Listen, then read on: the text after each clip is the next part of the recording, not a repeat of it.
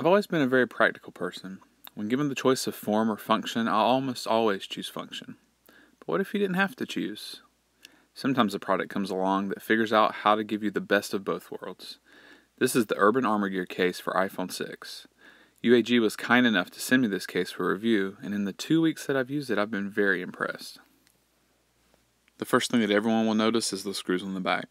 While I do think they're functional in fusing the two materials together, they're mainly for looks and they go along nicely with the industrial design of the case.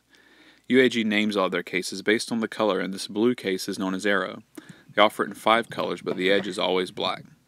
I do think that a white edge would look better on a white iPhone, but I understand that the corners and edges are designed to absorb all the impact and they would definitely show scratches and dirt. The black iPhone looks very sleek in these cases. The case is a one-piece design made from hard polycarbonate and soft TPU rubber. It also features a honeycomb design on the inside for extra shock absorption. To install the phone, you start with the volume button side first and then firmly press each corner in place. It fits very tight and the case doesn't feel stretchy at all. I've pulled on the most flexible piece by the mute switch daily for over a week now and it's still kept its shape. I find the easiest way to remove the case is by starting with the more flexible corner by the mute switch, then sliding down to the bottom left corner and the phone easily pops out. Generally, with a rugged case, you either talk about how stiff the buttons are, or you say they're bearable and they're okay. That's not the case here. UAG has included slits beside all of their buttons and it makes them work amazingly well. It feels just like you're pressing the actual buttons, and I've never used a case that does this so well. The volume buttons protrude from the case ever so slightly, which makes them easy to quickly locate and press. The power button, however, is almost completely flush, and although it's still just as easy to press, it can be difficult to locate in the dark or when you're not looking at your case. There are generous cutouts for the headphone jack and lightning connector. Instead of leaving big gaps around these cutouts, they filled the space by bringing the material flush to the phone. This keeps dust and debris out and it looks great. I really appreciate this kind of attention to detail. A screen protector is included with a cutout around the home button and around the earpiece and camera.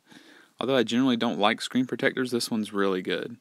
It is the exact width of your screen though, so be careful when installing it because there's no margin for error. It's very smooth to the touch and handles glare just like an iPhone with no screen protector.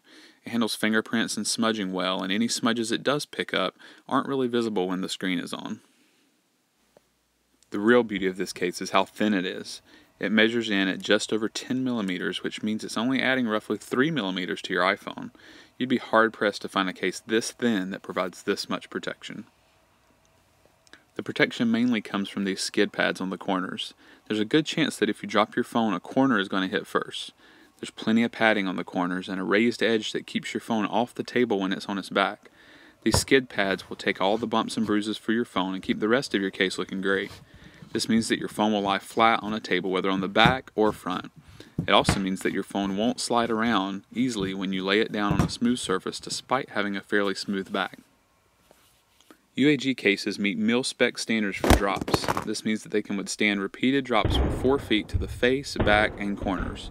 I dropped my phone over a half a dozen times from pocket height and texting height with no noticeable damage to the case or phone. Although the case is very thin, I have no problems dropping my phone in this case. The most controversial thing about this case is the cutouts on the back. The UAG representative that sent me the case said the bottom cutout was to see the color of the phone, and the top cutout was to allow the Apple logo to act as a mirror. It certainly is reflective, but you're not going to see much more than your eye in such a tiny mirror. However, since they don't put these cutouts on any other case, I have to assume she's right. A number of people have reported using them as grip points when holding the phone. In portrait mode, your index finger naturally falls in the top cutout, and when in landscape mode, both middle fingers easily rest in the cutouts. I did find myself naturally placing my index finger in the top cutout when talking on the phone, though it does feel more comfortable to place your finger just slightly above the cutout. The UAG logo on the back has a nice metallic finish, but because of the font choice, it also spells Gen if turned upside down. I had a couple of people ask me what Gen means when they first saw the case, so be prepared for that. I had previously said that it'd be hard to find a case that protects as well as the OtterBox Symmetry without adding much bulk in the same price point. Boy was I wrong. This case is definitely my new go-to case for an iPhone 6 recommendation. The only downside would be the industrial look if you don't like that sort of thing. It protects the phone very well, is surprisingly thin, and the included screen protector is really good.